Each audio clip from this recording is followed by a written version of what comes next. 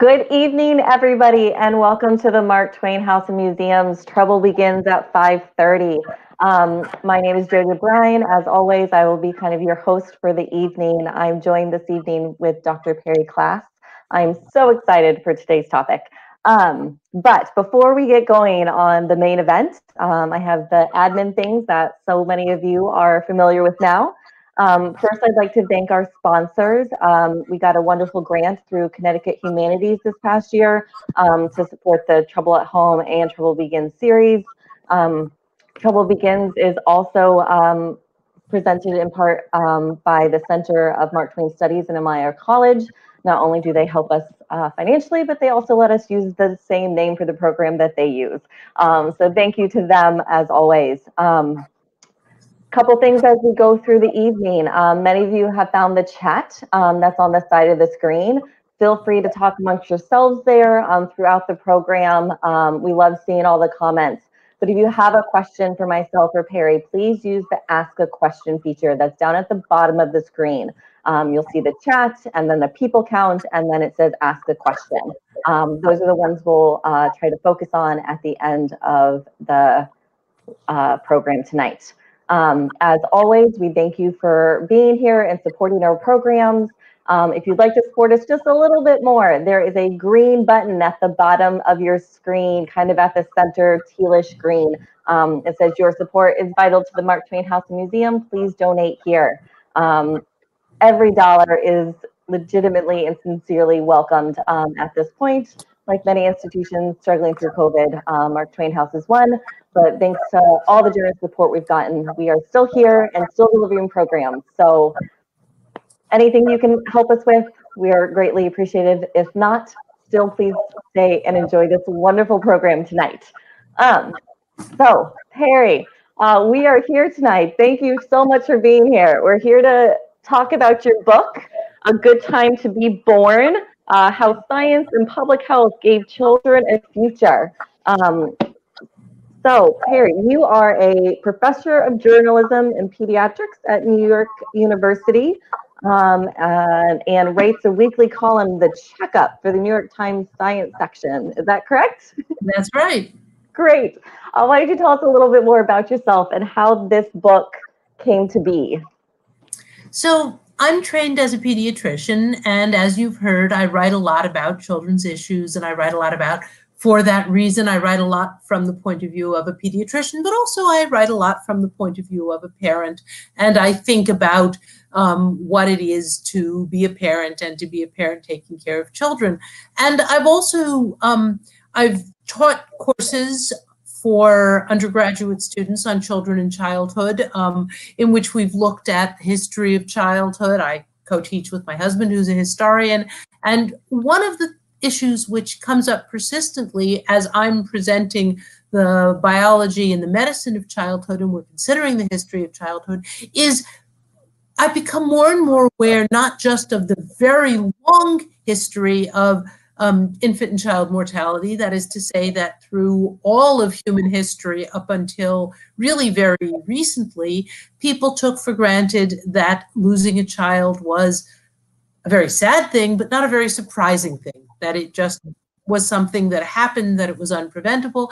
And I think it was as I came closer and closer to, well, as it came closer and closer, as I began to realize that when my grandmother was alive 100 years ago in Brooklyn, New York, we were still talking about oh, one in every hundred live born children dying before the age of one, and then another probably dying before the age of five. So one um, not not not a sort of distant, remarkable thing, but a 10% infant mortality. I think I said one in a 100. I should have said 10 in a 100 at the turn okay. of the century. We're yeah. still losing 10, 20 out of every 100 live births. You're losing not as many as you maybe were losing in the Middle Ages or the Renaissance when you were perhaps losing 30, 40%, but you're losing enough. You're losing a couple of children out of every 10 so that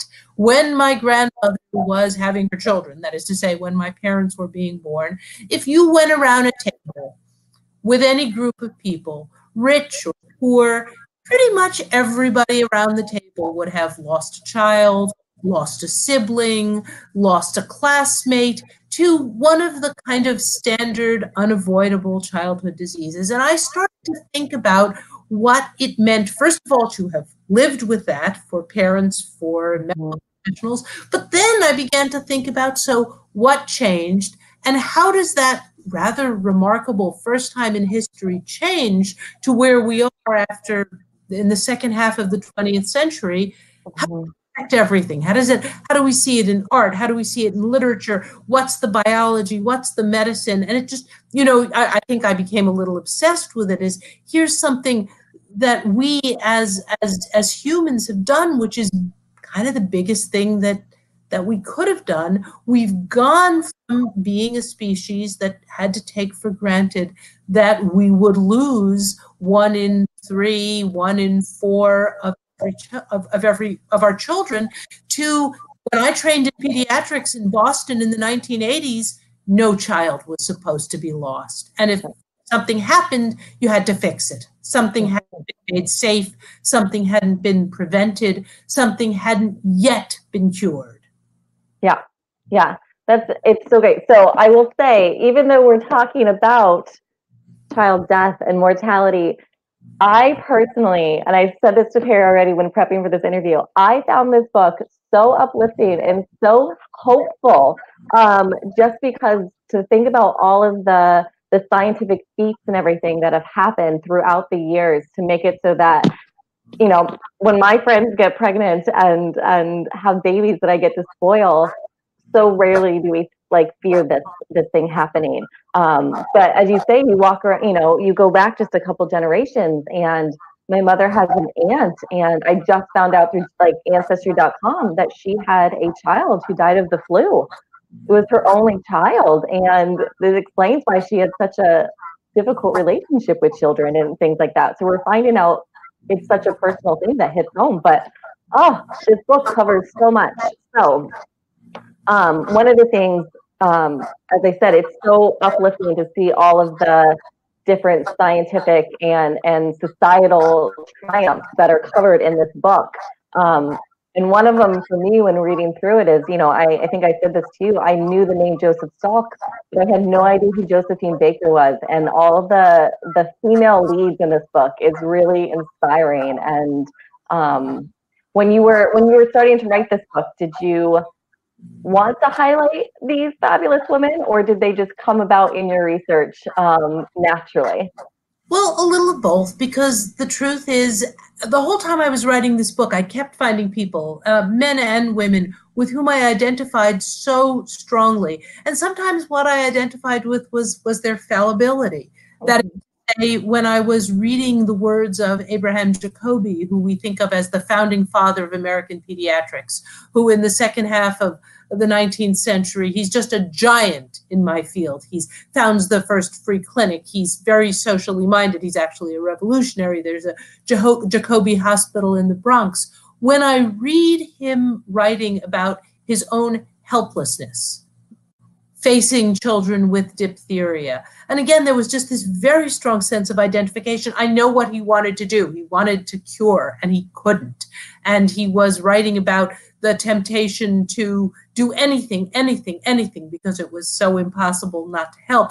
So um, I felt very strong sense of identification with a lot of the people. Sometimes, be, sometimes because they were um, helpless or sad or mistaken. And then I read Josephine Baker's um, autobiography, and she, Sarah Josephine Baker, she's a, a, a girl from Poughkeepsie, and she goes to medical school um, at the end of the 19th century because her basically she's got to support her mother and her sister her brothers died um, her father's gone and she becomes interested in public health and in the question of whether you can actually prevent the infant deaths and she writes um, so frankly so in such a lively vivid way about this business of deciding that you know um, summer heat does not have to kill babies. And it had just been understood, especially in the cities, that when summer came, the infant diarrhea came, and we would now understand that that's because the milk is spoiling, that's because the water is not clean, the children are getting diarrhea for a variety of reasons. But they were, you know, she writes about just expecting a thousand deaths a week and then realizing that if you educate the parents, if you pasteurize the milk, if you take some of these hygienic precautions, and this without miraculous medicine. This is without antibiotics. This is without IV therapy. This is with public health and hygiene and the excitement um, that when she writes something like heat did not necessarily kill babies and the babies can live. Um, mm-hmm. yeah, those voices were were tremendously exciting. And I don't think it's a coincidence that um, some of the people who go in into pediatrics, some of the women who go in, um, have a slightly different take, certainly than the people who've been controlling kind of high-end academic medicine beforehand. They're a little more, they're more interested in the normal child and in child development, and maybe a little more um, hands on about working with the mothers, but even more than the doctors, and I hope this came through, those public health nurses. That's one of the things Josephine Baker does. She's the first head of the first um, New York Child Hygiene Bureau, which is the first one in the country. And she realizes that what she needs is nurses who mm-hmm. will knock on doors, who will work in the schools, who will meet families where they are and spend time making sure parents understand that they actually have this in their power because this idea that babies don't have to get sick and die in the summer, if it's overwhelmingly and amazing for the doctors, think how amazing it is for the parents. This is not something which is just has to happen. It's not sent from above. Yeah. A couple of my uh, the points that kind of resonated with me. One was the like going to the to the families. Um, I'm I'm a fan of Call the Midwife on uh, PBS. So just the idea of them going and checking up on and you know repeatedly going and caring for for the children in their own homes was something that I think is just beautiful. Um, the other thing that I really enjoyed was the um, the idea of having to look at and study for lack of a better word, study healthy children, right? Like it wasn't just the sick children, it was going and seeing what a normal child looked like and, and felt like and what their skin felt like and all these different diagnoses so that you could then figure out what was wrong with the unhealthy baby. The third thing that I really loved um, about these home visits was the line about like a baby like sucking on a piece of sausage and it's just like, oh, they get the, the benefits of garlic. And it's like, that's just amazing. That's real life, right? Like no, no child is in a test subject situation um, where they live. You know, everybody has their own home remedies and, and life happens. Well, also sometimes, to be honest, when you read some of the turn of the century advice books for parents that were written by very serious, usually male or almost invariably male doctors who, honestly, I'm not sure had spent many days one on one with a cranky, difficult toddler. there's a certain amount, you know, it's like, and you must do this and you should do this, and this is the way you must mix the formula. Whereas the public health nurses, Dr. Baker, you get the feeling that the mothers are answering back. Mm-hmm. And, you know, they're sort of saying, um, come on, nobody's going to actually be able to do that. Right. And I think that, you know, that's that's very important because it's not like you can just say, oh, let's educate the mothers, because the mothers know a lot and they're doing their best. The question is, have you found some ways to support them? Have you found some ways? And if you can say to them, look, remember, remember that at the beginning of the 20th century, the idea that these diseases are being caused by invisible microbes is new. The doctors are still arguing about it. There are still a lot of doctors at the turn of the 20th century who are not convinced about all of these, you know, German bacteriologists who keep discovering new bacteria. And um, it's it's very new. So it's not like you're going into uh, the family home and trying to say, for heaven's sakes, don't you know that you know infectious diarrhea is caused by bacteria and viruses? These are new concepts. Mm-hmm. They're still arguing about. So you know, you're you're actually trying to give people new tools they didn't have before that nobody had before. Right. Yeah. Um, so the book is, I believe, 10 chapters full of really interesting um, information and it is available through our gift shop. Uh, Jennifer will show the link multiple times during this, this in the chat box. So please, please purchase one. It is sincerely fascinating. Um, but so most of what we're going to talk about tonight is kind of in chapter one um, when it comes to like the literary and kind of historical references. Um, and of course, being the Mark Twain house, Twain is involved. Um, so there's lots of I can think of a, numerous stories with Twain and um, various diseases, but I think the one that pops to mind, of course, is his measles um, and how he uses that both in his personal life and in his writing. So, um, can you tell us a little bit about measles uh, to begin with, to kind of give us a baseline, and then we can go into to how it affected Twain's life? Sure. So let me start by talking about measles a little bit because measles is a really, really interesting disease. And at the moment that we're living through right now, you may actually hear some parallels and we can sort of um, i'm not going to go into the history of vaccination but i just want to say it's a measles story is a really really interesting one first thing to know about measles is measles is the most infectious disease that we've got when measles around before there was a vaccine pretty literally everyone got measles. And say, when I was training, if you asked people, have you had the measles, adults, um, if they were born before 1957, whether or not they remembered having had the measles, the rule we were taught was if they were born before 1957, they've had the measles because measles is that catching. Everybody got it. Measles is the sort of the nightmare disease from an infection point of view. Somebody was on the bus an hour ago and everybody who's been on the bus since has been exposed. You know, in recent years, we've had a, a Disney World pande- um, measles epidemic. We've had it's it's really catching. The second thing I want to say about measles is that measles in colonial America, in you know here on the East Coast, in the oh you know in the 18th century, it was a really scary disease. Mm-hmm. There a certain amount of protection, perhaps, by the um, Atlantic Ocean. People thought that measles cases used to burn themselves out on the long sea trip over, so it wasn't um, all that common. But it turned up periodically. It was not as dangerous as smallpox, which it was often compared to, because it's another disease that's catching. It's another disease with a rash, um, and you know another disease that spread in families and communities but there were some really deadly epidemics. There was an epidemic um, in 1657 um, in Boston that was described um, as, you know, very mild. But then, if you remember um, Cotton Mather in 1713 to 1716, Cotton Mather's family was devastated by measles. He was the only one in his household who didn't get sick because he'd had the measles in an earlier epidemic.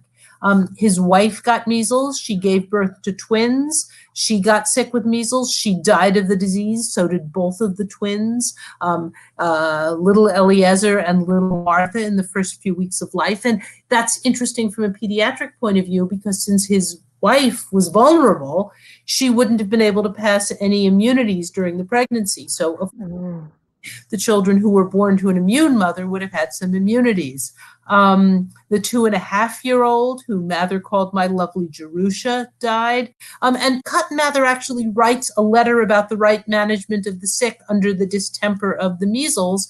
And he felt that it was a much more serious disease in America. So if we fast forward to Mark Twain growing up in Missouri, um, there are periodic, devastating, devastating epidemics of measles. And Mark Twain wrote In 1845, when I was 10 years old, there was an epidemic of measles in the town, and it made a most alarming slaughter among the little people. There was a funeral almost daily, and the mothers of the town were nearly demented with fright. And then again, two years later, when Mark Twain was 12, he writes The summer came and brought with it an epidemic of measles. For a time, a child died almost every day. The village was paralyzed fright, distress, despair. In the homes, there were no cheerful faces, there was no music, There was no singing but of solemn hymns, no voice but of prayer. Now, his mother was desperate to keep him from being exposed, and he deliberately exposed himself and caught the disease, as I'm sure many of you know. And so she had him seen by Dr. Cunningham, the local doctor, and Mark Twain writes, when Dr. Cunningham had made up his mind that nothing more could be done for me, he put bags of hot ashes all over me. He put them on my breast, on my wrists, on my ankles, and so, very much to his astonishment, and doubtless to my regret, he dragged me back into this world and set me going again. One comment I'd like, two comments I'd like to make. The first is that actually, um, the young Mark Twain was probably lucky that Dr. Cunningham wasn't more aggressive.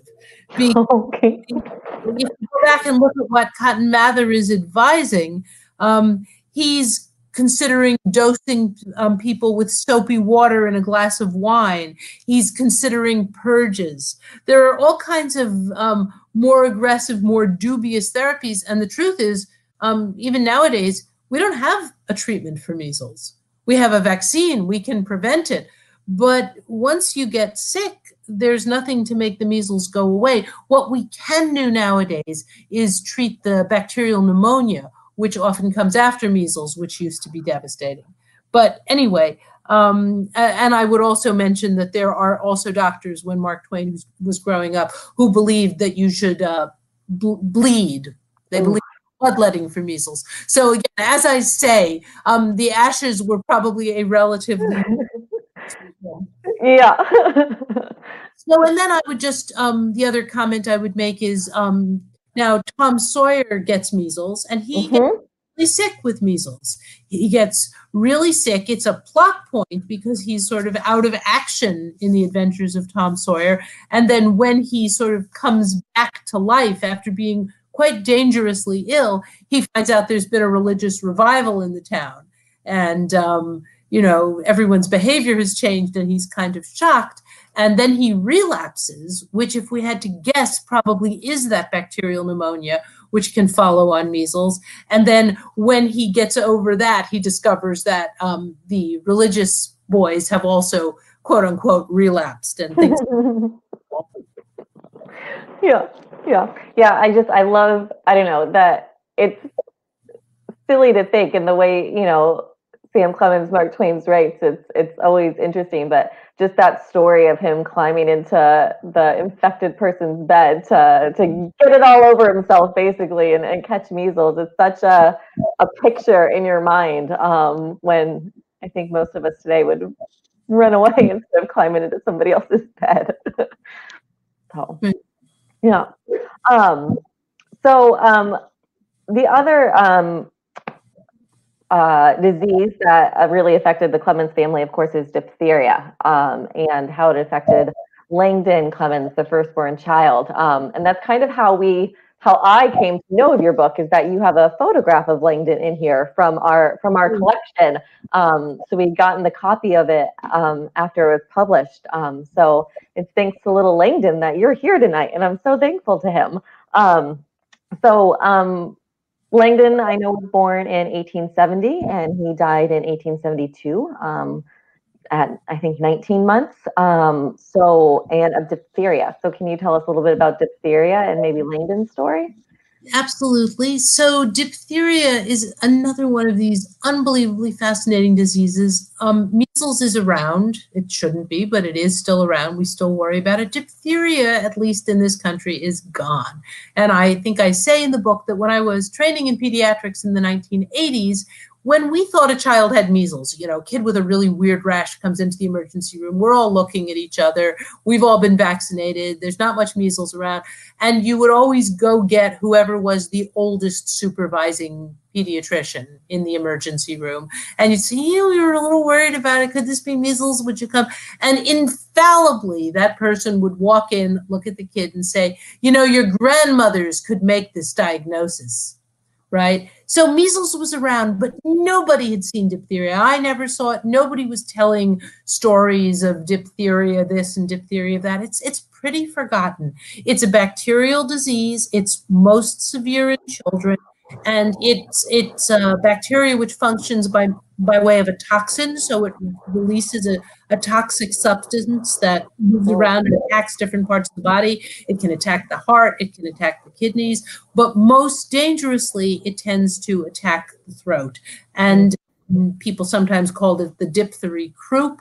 And what it can do is a what's called a pseudomembrane, a thick kind of mess of necrotic tissue, dead cells can build up in the throat and can cut off the airway. And the reason that children are vulnerable, as with so many other diseases, children have very small airways. They're vulnerable to respiratory infections. You were mentioning the flu. They're vulnerable to the flu. They're vulnerable to anything that affects the airway because a little bit of swelling or a little bit of what would be a little bit of swelling in an adult size airway or in um, an adult sized throat can be much more significant in children. And diphtheria was a terrible disease in children. It was again a disease that many children got, and it was a disease that many children died of. And until the very end of the 19th century, there really wasn't anything that anyone could do. Um, and it's one of those diseases which you'll read about, um, as with measles, in the royal families in you know the, the homes of the rich and powerful um, it kills baby ruth cleveland um, in the early 20th century um, as rich and poor it, measles diphtheria they don't really care but so langdon is actually vulnerable for another reason as you say he's born in 1870 and there's actually i think a scare the month before where they're worried that Olivia's going to have a miscarriage. And I think she put on some version of bed rest. And so the baby, when he's Langdon, when he's born in on uh, November 7th, 1870, he's a month early. And he weighs four and a half pounds. Okay. Now, again, by the standards of premature babies in 2021, that's premature. You worry about a baby who's a month early but it's not a miracle preemie baby, right? A normal pregnancy, just for everyone's reference, is 40 weeks. So um, we now, I mean, it's like I'm a neonatologist. Neonatology um, units now regularly and almost routinely take care of children who are born at 28 weeks. So that's 12 weeks early, 26 weeks, that's 14 weeks early. So we're talking now about a baby who's a month early. And as you probably know, um, it's not babies who, who, weigh less than a kilo, less than 2.2 pounds, um, very small preemies are routinely cared for. And he was four and a half pounds. But even so, in 1870, that's pretty premature and pretty small. And he was, nobody expected him to live when he was first born. Um, not his parents, not the doctor, but he he did live. He survived that very dangerous newborn period, but he was pretty sick on and off for most of his first year of life. Lots of colds, lots of respiratory infections, which, if you've ever, you know, premature babies or former premature babies are more vulnerable. They get vaccines. We've been compulsive about trying to make sure um, when they're too young to be vaccinated against flu, you're supposed to vaccinate everybody in the household. Um, right parents of um, premature babies, when they bring them home, are some of the strongest advocates for influenza vaccine. They just want to believe that everyone around the baby will have had that flu shot. So he was very sick on and off for the first year. And um, in some of the letters that Twain wrote, it was pretty clear that he wasn't sure that the baby was going to to make it. Um, but he clearly developed a strong fondness for the child.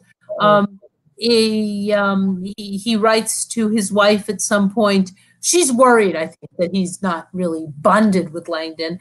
And he writes to his wife, Bless your heart, I appreciate the cubby. Um, and shall more and more as he develops and becomes vicious and interesting. To me, he is a very, very dear little rip. Kiss him for me, sweetheart um, I have ordered the songbook for him. And then later on, he really seems to be thriving once he's past that first year. And in fact, um, when you get to him being about 14 months old or 13 months old in 18 15 months old in 1872 he's really looking kind of robust and there's a great letter from twain um, saying our baby is flourishing wonderfully he is white as snow but seems entirely healthy and is fat and chubby and always cheerful and happy hearted can say pa and knows enough to indicate which parent he means by it, which is Margaret, the nurse. Mm-hmm. Um, can't walk, though 16 months old, but that is not backwardness of development physically, but precocity of development intellectually, so to speak, since it is development of inherited indolence from his father.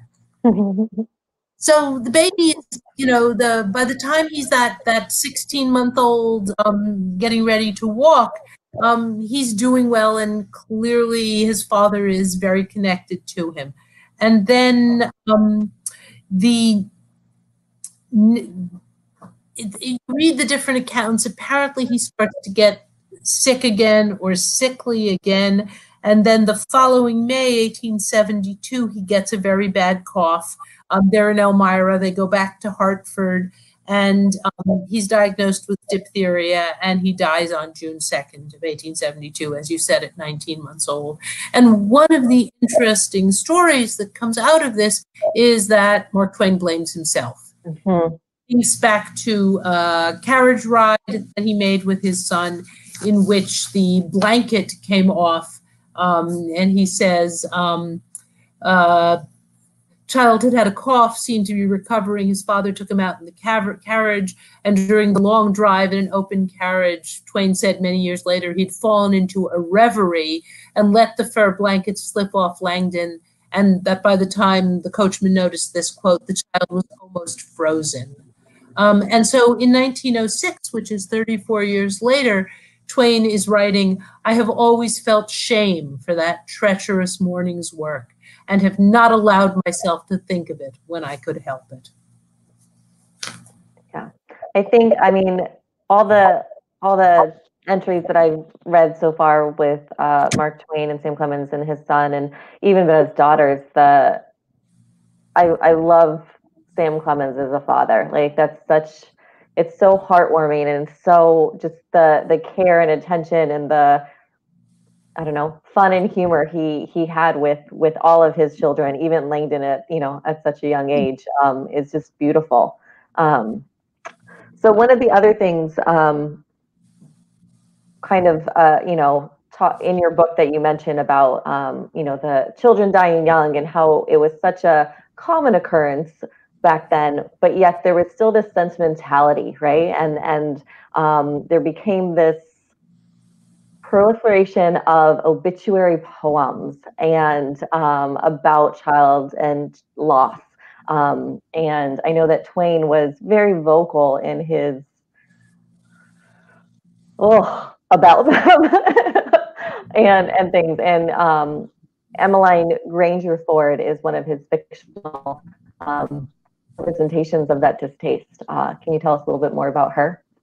Absolutely. So, um, one of the things that I was playing with a lot in the book was the question of a whole variety of writers, what they wrote about in their in their fiction. Um, you know, Mark Twain, Harriet Beecher Stowe, Charles Dickens, but then also looking at the experience that they lived and not necessarily trying to draw any one to one parallels, but just sort of saying in an era in which childhood mortality touches almost every family, um, you write differently. You're writing for an audience you can assume that many, if not most of them, will have had very firsthand experience of losing children. And so, um, and of course, you get the most sentimental child scenes in history from the death of little Eva in Uncle Tom's Cabin to. Nell in Charles Dickens in the Old Curiosity Shop, you know, and and there are a bunch more, some of which don't we we are. I mean, uh, we do, we don't have time to talk about Little Henry. Yeah. The child is called little somebody. It's not a good prognostic. yeah. Generally assume that child is not going to make it out of the book. But in any case, um, and that what's interesting, I think, is that that sentimentalism also provokes a certain um, irascibility in in readers, um, and that those seem to go together. So just as you know, you remember um, the Oscar Wilde remark that one must have a heart of stone to read The Death of Little Nell without laughing. Um, Mark Twain, at a moment when we probably don't remember the obituary poetry of the 19th century, Mark Twain made it immortal by satirizing it. He made it immortal. the, the most clear presence of that genre is now um, his account in um, The Adventures of Huckleberry Finn of um, the prodigy child amateur obituary poetess um, Emmeline Grangerfield. Grangerford, and and I'm just gonna, um, if I may, I'll read you a tiny bit of it, um, in which they he's been taken into this what seems to him a very very nice house by the Grangerfords, and he's sort of inventorying what he sees, um, and he's telling you that they have there was of other books. There was nice split bottom chairs. They had pictures hung on the wall, mainly Washingtons and Lafayettes and battles and Highland Marys, and one called Signing the Declaration. There was some that they called crayons, which one of the daughters, which was dead, made her own self when she was only 15 years old. They was different from any pictures I ever see before, blacker mostly than is common. One was a woman in a slim black dress, belted under small under the armpits, with bulges like a cabbage in the middle of the sleeves, and a large black scoop shovel bonnet with a black veil and white slim ankles crossed about with black tape, very wee black slippers. And the picture's called "Shall I Never See Thee More, Alas?" because she's leaning pensive on a tombstone under a weeping willow. And another one is a lady um, with a dead bird, and underneath the picture it said, I shall never hear thy sweet chirrup more, alas. And there are more similarly gloomy pictures. Um, and he says about Emmeline, the daughter of the house who made the pictures, everybody was sorry she died because she had laid out a lot more of these pictures to do, and a body could see by what she had done what they had lost. But I reckon that with her disposition, she was having a better time in the graveyard um, and then what they what he goes on to say is that um, she kept a scrapbook when she was alive, and she would write poetry whenever there was an obituary out of her own head. It was very good poetry, Huck says. This is what she wrote about a boy by the name of Stephen Dowling Bots that fell down a well and was drowned. And did young Stephen sicken and did young Stephen die? And did the sad hearts thicken and did the mourners cry? No, such was not the fate of young Stephen Dowling Bots. Though sad hearts round him thickened, 'twas not from sickness as shots. No whooping cough did rack his frame, nor measles drear with spots. Not these impaired the sacred name of Stephen Dowling Bots. Um, oh no, list with tearful eye, whilst I his fate do tell, his soul did from this cold world fly by falling down a well. They got him out and emptied him, alas, it was too late. His spirit was gone for to sport aloft in the realms of the good and great. And the truth is that a lot of academics thought about obituary poetry nowadays is trying to figure out who was the model for Emmeline Grangerford and which of the uh, 19th century ob- obituary poets was he writing and were they really as bad as that? And yes, they were. And, um, so he's sort of um, he may have despised the genre, but he also immortalized it, and he also writes uh, a really strong essay about it, which is collected in the 1906 collection of the $30,000 bequest, in which again he insists that he's quoting real obituary poems and he's he's mocking them. yeah, yeah.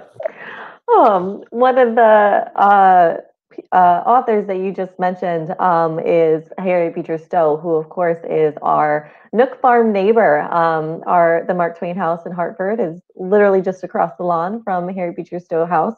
Um, she and uh, Clemens had um, child loss in common. Um, she lost uh, one of her children, Charlie, um, at a I think only at a year. Um, did uh, he died of cholera? Correct. Yep. Um, so, can you tell us a little bit more about Charlie and cholera? Sure. Well, again, I was interested in her lived experience since she does, in The Death of Little Eva, create um, uh, a 19th century child death scene, which becomes almost instantly iconic, famous, acted out on, depicted over and over. Um, you know, you can you know you can see a, a, version of it acted out in the king and i and everyone's supposed to recognize it immediately and she had like many women of the era, she had a difficult and tragic maternal history in many ways, but she lost her young son Charlie in the terrible cholera epidemic in Cincinnati, where they were living in the 1860s. Um, her husband was teaching at the um, theological seminary there, and she she writes him letters. He's away actually taking the water cure when this is happening and he's in Brattleboro, Vermont, and she's writing to him and warning him that he should not um, come home because because it's so dangerous. And um, so I'm, I'm sorry, I, I said 1860s. That um, that's when she's writing the book. 1849 when um, this happens, and she writes these painful, painful letters about Charlie getting sick, Charlie seeming to get better, Charlie dying, and um, and what she says later over and over and over. So Charlie dies um, in the summer of 1849 in the cholera epidemic in Cincinnati.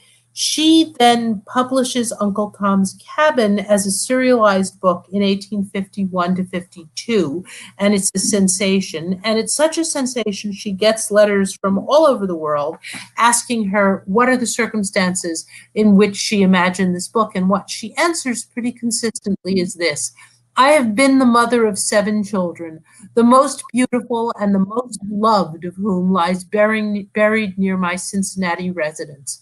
It was at his dying bed and at his grave that I learned what a poor slave mother may feel when her child is torn away from her. And so I write a fair amount in my book about this question of kind of what do you do with the sorrow and the grief? 20th century parents often turn to activism of very specific kinds. Um, someone whose child dies in a car crash, um, who was a child too old to be in an infant seat, decides that it should be law that a four-year-old needs to be in a booster seat and can't be in the front seat of the car. We're going to have a law and it's going to be named after my child. So no other child will die that way. And I'm sort of looking back here at Harriet Beecher Stowe in the 1850s taking this terrible loss and saying, I'm going to turn this around so that there's a kind of grief and a kind of loss of a child which can be prevented. There's nothing anyone can do about cholera any more than about diphtheria, any more about measles. But I am thinking of people who feel this grief in a way that we could stop it, we could prevent it. And I think that's a very interesting take on one of one of the ways that parents all through recent history find to cope with this kind of grief. Yeah.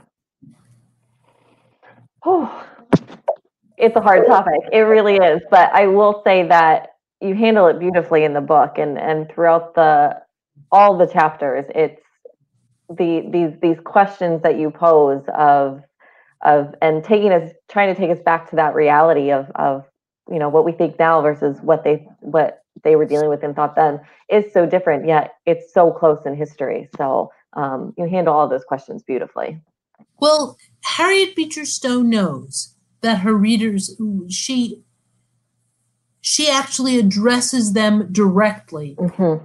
text um, in you know to sort of say to them um, you know to take for granted.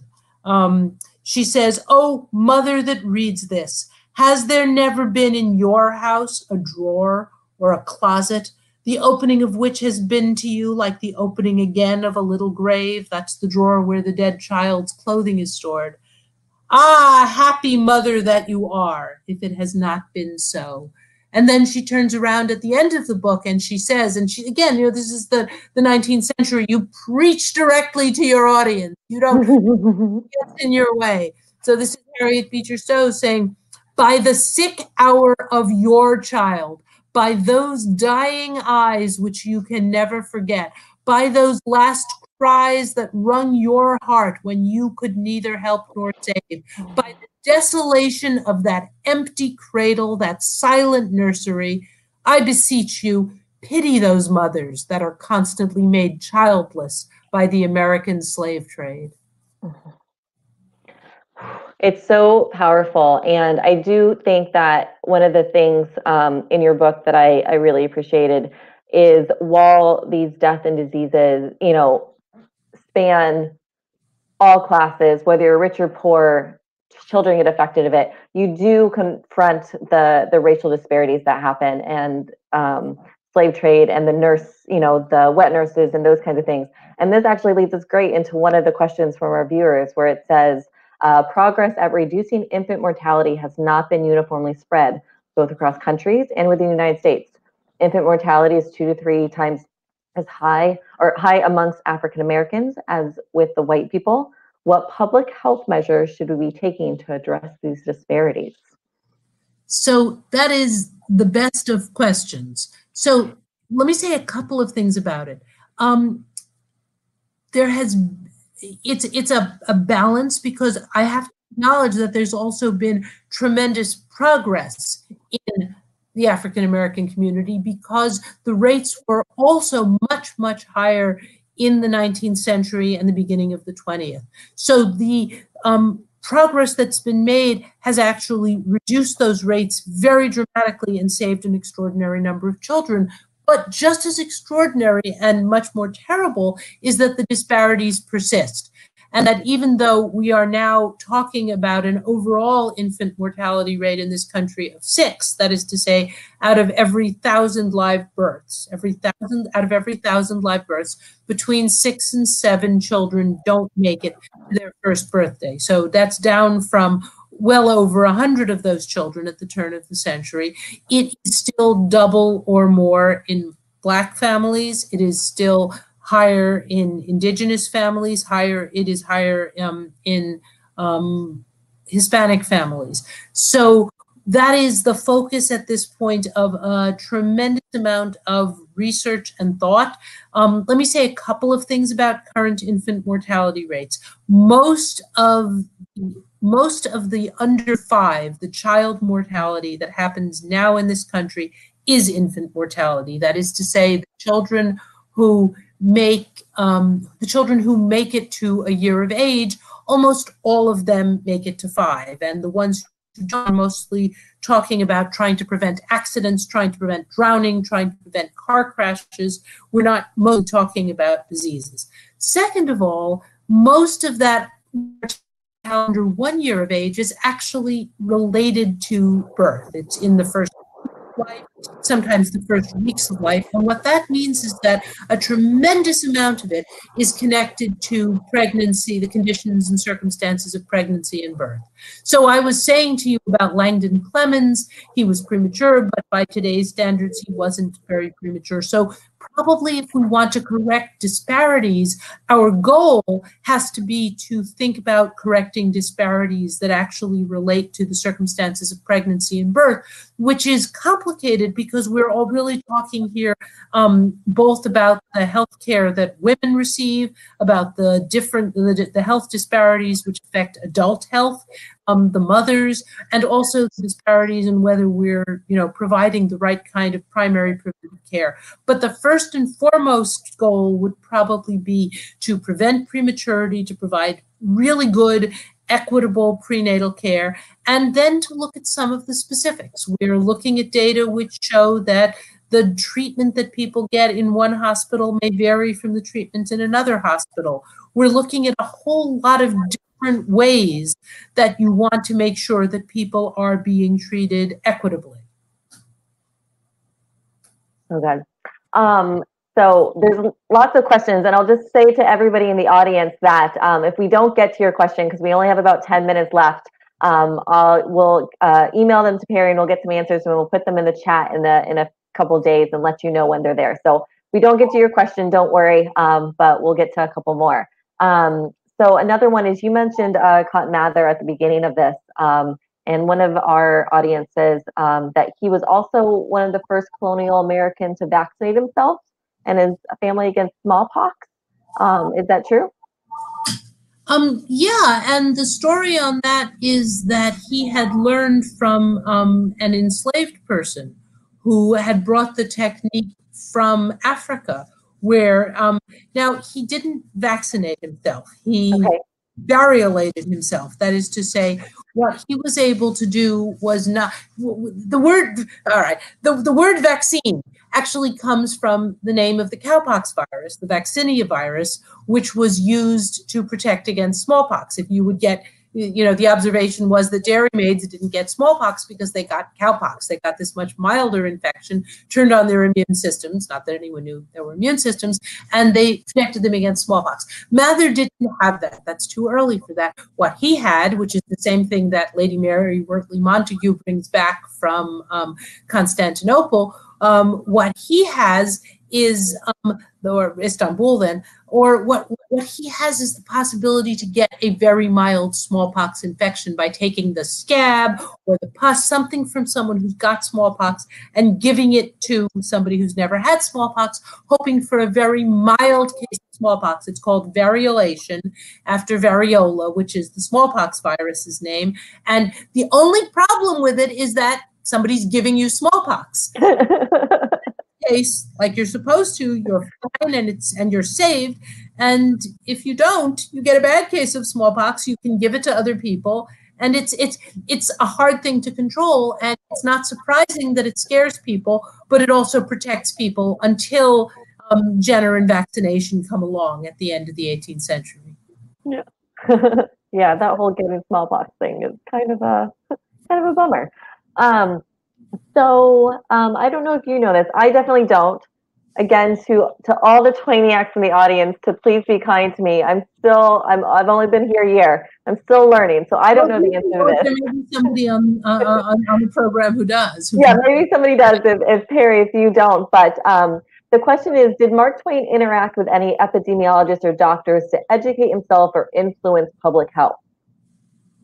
So I don't know.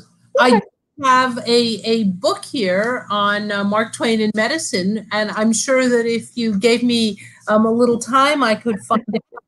Um, I think that I don't I don't know about. Um, I mean, he say lives through the great cholera epidemics of the 19th century, but I haven't looked it up. I could if you if you talked among yourself, I could look it up. also look up later and respond. And, and as I say, there may be somebody on here who knows. Um, yeah. Okay. Let me also they as people vote, the questions move up and down. So I always have to like go back and look and see um, what else is here. Um, so likewise, um, yeah, so one of our one of our uh, Patrick Ober, who is a doctor and has been wonderfully um, one of our Trouble Begin speakers um, prior to this, he says he was interested in that for sure. Um, so I yeah, so likewise, and again, we probably aren't able to answer this, and we'll either look it up or maybe get uh, Dr. Ober to help. But um, the question is, as Mark Twain lived through the beginning of the progressive era, what thoughts did he express about the efforts to mitigate the social practices and conditions that promoted disease? Um, how well read was he in the current literature?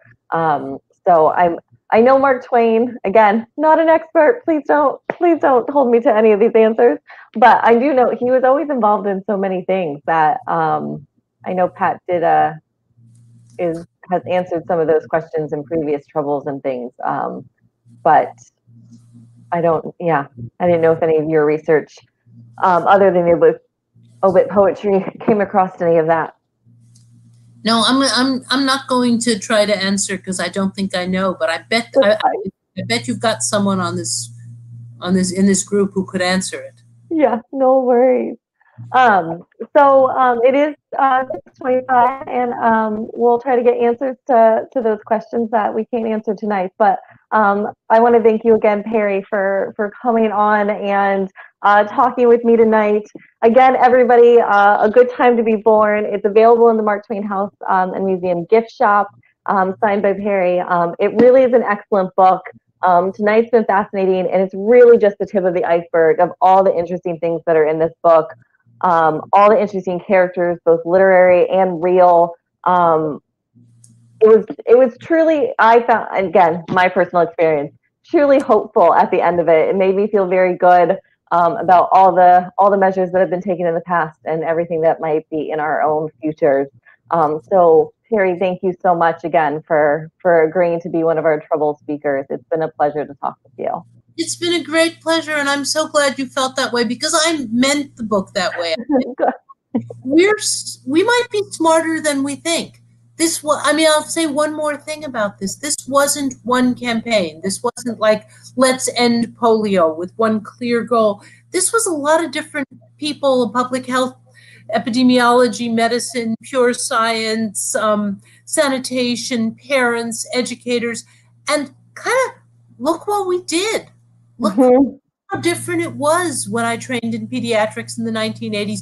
Look what we did for ourselves as a species for our children. And just to circle back to that first very good question, which is that it wasn't equitably distributed across the world either it's actually gotten a whole lot better in the last decade and a half.